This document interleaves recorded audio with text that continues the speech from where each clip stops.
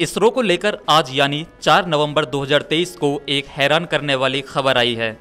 ये खबर दक्षिण भारत के मीडिया संस्थानों में प्रकाशित हुई, जिसमें कहा गया कि इसरो प्रमुख डॉक्टर एस सोमनाथ ने पूर्व इसरो चीफ के सिवान पर एक आरोप लगाया। सोमनाथ ने कहा कि सिवान ने उनके इसरो प्रमुख बनने में बाधा डाली थी। सिवन नहीं चाहते थे कि सोमनाथ इसरो प्रमुख बने। यह आरोप सोमनाथ ने अपने जीवन पर आधारित किताब निवालो कुडीचा सिमहल में लगाया है।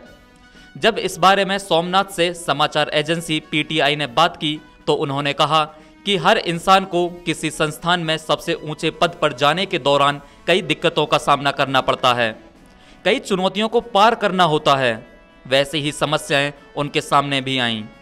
उन्होंने कहा कि मैंने अपने जीवन में आई चुनौतियों के बारे में लिखा है। किसी के ऊपर व्यक्तिगत टिप्पणी नहीं की। वह किसी एक इंसान के खिलाफ नहीं है। किसी भी एक ऊँचे पद के लिए कई लोग उपयुक्त होते हैं। मैं बस इस मुद्दे को उठा रहा था। मैंने किसी भी एक व्यक्ति पर निशाना नहीं साधा है। हालाँकि सोमनाथ ने यह भी बताया कि चंद्रयान टू कैसे फेल हुआ था।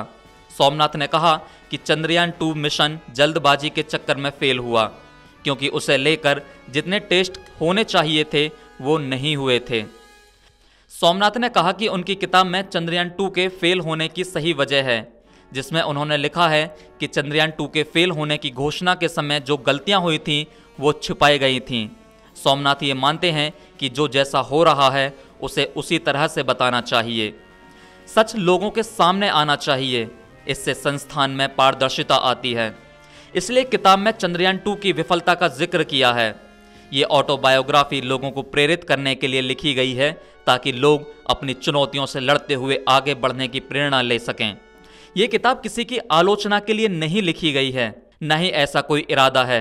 ये किताब जल्द ही बाज़ार में आएगी।